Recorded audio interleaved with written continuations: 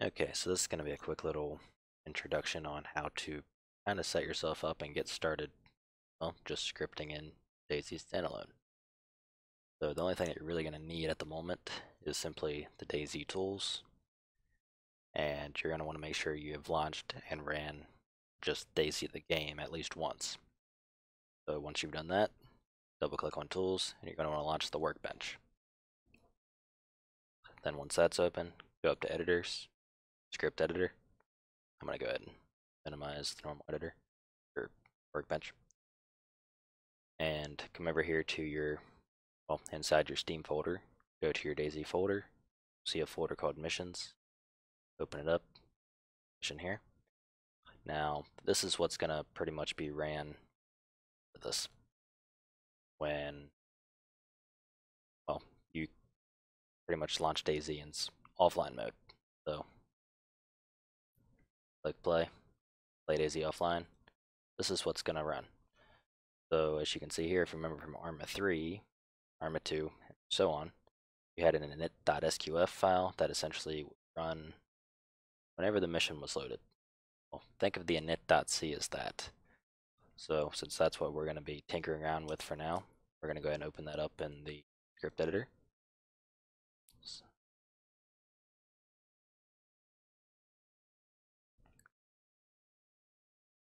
And that's all the way down. Alright. So you can see, here's your main function. Here's what's going to run first. You can see, for example, here's where you get your basic stuff set. Get, well, that's where it selects randomly from array. Here's where it sets your inventory. So as you can see, you'll spawn with a rag, random amount, well, actually four, sorry. Whatever that stands for, with a hunting knife, Makarov, so on and so on. Now, just for example purposes, actually, let's go ahead and launch DayZ. Get to load.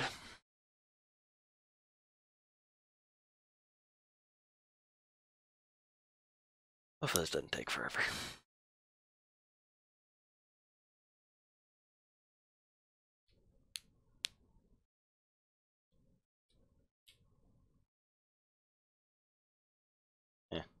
I'm just gonna remember to crop it. Alright, so as you can see, pretty much everything that was in the little script we have spawned with. So let's say we want to change that. First off, we can simply go ahead and get rid of everything that you spawn with. That'll be lines 51 through 82. Just remove them. And uh, just for example, move these three lines, and I don't think this gets used anywhere else either. So now, file, save it, click restart. You will see when we spawn, really just shouldn't have anything aside from maybe your normal clothes. As you can see, our inventory is completely open, weapon on our back.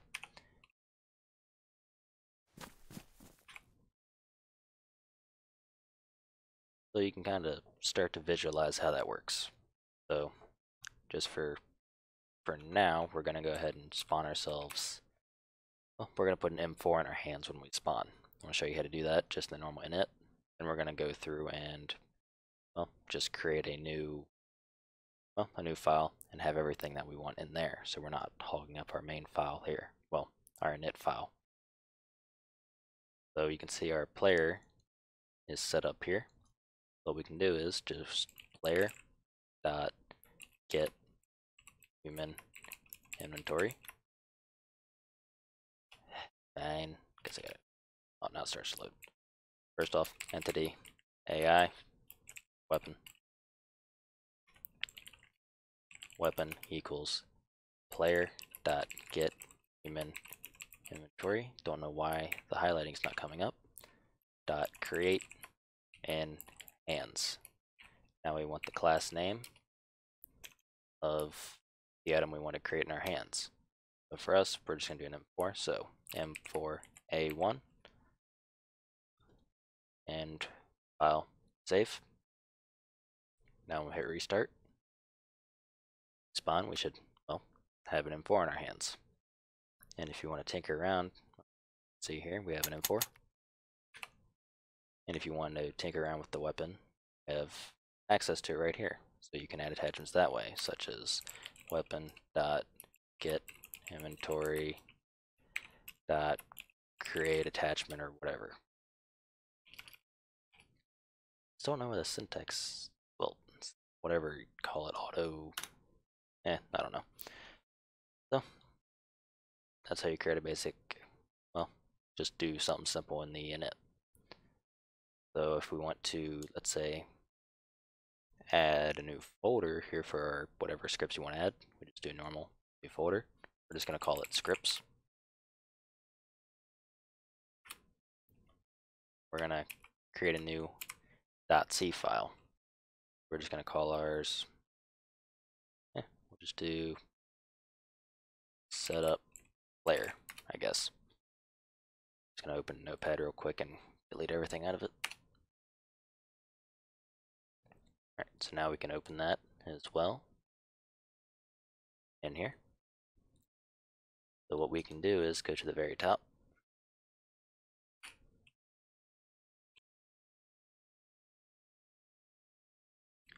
Do hashtag, damn it, include. Now it's going to be money sign, current directory. Now we want to go to pretty much the path. So our path is going to be from missions all the way to scripts, just like so.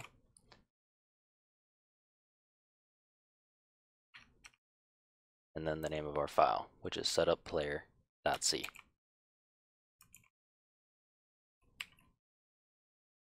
So you're going to want to go through, add an additional backslash to each one. Well as to start of the mission. So this will pretty much, well, literally point right here to this file. So one thing we can do, we can simply, in our setup player, we can just have a simple function, void give player m4, for example. So if we want to call it, all we do is simply do give player m4. That would call this function right here and any of the code we put inside it. So since we're going to want to yeah, an M4 in our player's hands, we need to paste this line in here. But the problem being, see, it goes off of player but player is where is it? Set up and created right here. So what we can do is simply pass player onto the function. So player. As you can see it's a type player base. So in our pass on our parameters for our function we're going to do player base player. So now player has been passed to this function. We're going to use that pass parameter which is us and we're going to add an M4 to the hands of it. So, there's a line. Yep. File, save solution, and restart.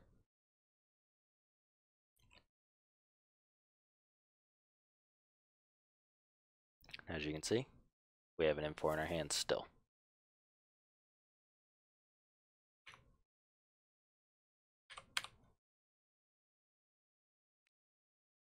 Now, with their new scripting language as opposed to SQF, we pretty much given the ability to use classes, and not something you're very familiar with. I really do recommend you learn as it can be very, very useful for you. So, just for example, we're going to make a class to, I'll kind of wing it as I go along. Right, so essentially, we're going to make a class. Call it, I guess, setup player default weapon. Guess that would, yeah, that'll work. For example, the class set up player Make a little set up default player weapon. So inside this class, we can do what is called a constructor. So what a con oh, I'll just make it so you can visualize it.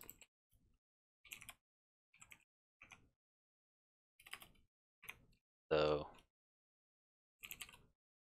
think of this function that's inside this class here. This right here is a constructor. So anytime we make an object off of this class, this constructor is going to automatically run. So any code that is inside it will just simply, well, literally just going to run when an object is created. That's the only way I can would have really put it. So let's say we're going to make an object based off of this class, for example. Go ahead and get rid of this function. That was set, yes, set up, up, default, there it is, player weapon. We're just going to call it p object for player object equals new set up default player weapon. So for this example, we're going to do the exact same thing and give ourselves an M4.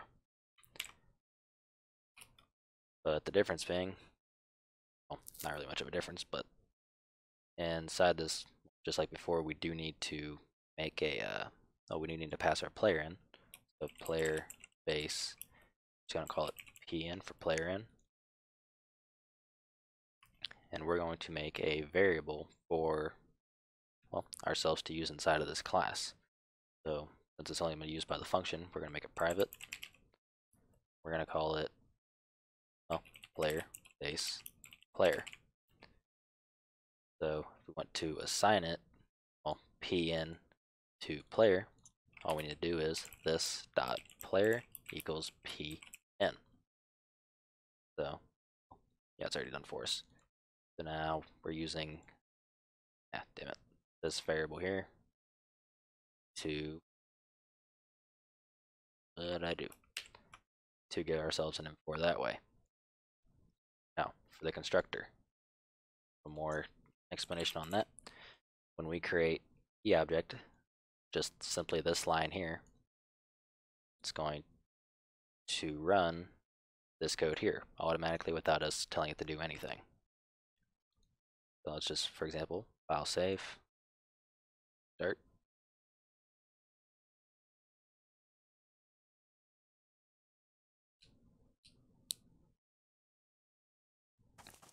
As you can see, here's our M4. So hopefully this is starting to kind of come together and make sense to you. And just for example, I'll do one more. We're also going to do private entity AI weapon And do this dot weapon equals so that's gonna our weapon's gonna equal this M4. Let's say we want to add attachments. We can do void add don't know why I'm capital add weapon attachments. We don't need to take in anything. And I'm trying to remember what the commands are offhand, but it's weapon dot get and oh now it starts showing. Dot create attach yeah create attachment. So attachment we want to create is a string and it goes inside here just like with our m4 eh, for example find one I do have the page bookmarked that has all the class names this will be linked in the description for you as well so if you're at the start just go to weapon, firearms, find the weapon you want to use. In our case, it's M4, config.cpp. At this point, just search for stock. That's going to save a lot of time. the We want to look, here's the base attachments array, which we want to look at. So, as you saw in game, we have no handguard, no rear sight, and no stock. So well, we want to add all of these. That's going to be easy to copy and paste it. And then just copy, paste that line,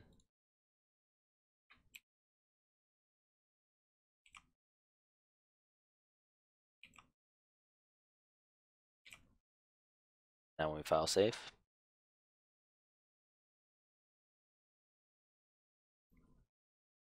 should have a complete rifle.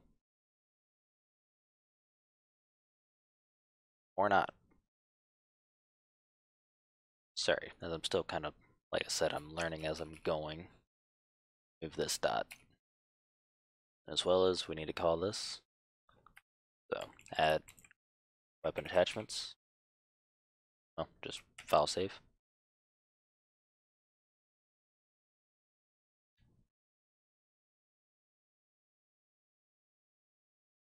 And as you will see, we now have handguard, rear sight, and a stock. So there's other things that we can do. We're gonna do one final thing. The last thing we're gonna do is we're gonna add a magazine to our inventory. I'd like to show you how to it actually adds to our well inventory. We're not gonna create in our hands, for example. What we can do is void add magazine to player. Now, since we already have our player up here, player dot get inventory dot create an inventory, then the name of the magazine. Now, if you look back over here, and search mag, should come up with a list. We're just going to add a 30 rounder. Paste it in. Control S. And restart. And with any luck, there should be a magazine sitting in our jacket pocket.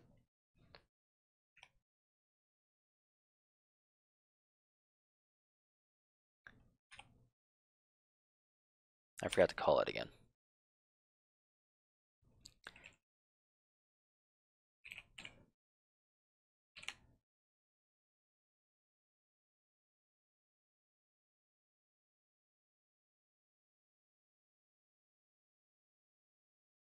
There it is. Drag her on.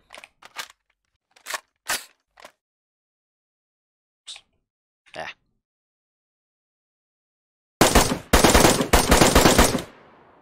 As you can see, everything's working. So hopefully that'll be, this has been kind of scrambled, I can realize that, well I realize that now. But hopefully this should kind of just get you a general idea until I'll allow you to kind of expand on it and learn from here. So, that's just how you get started.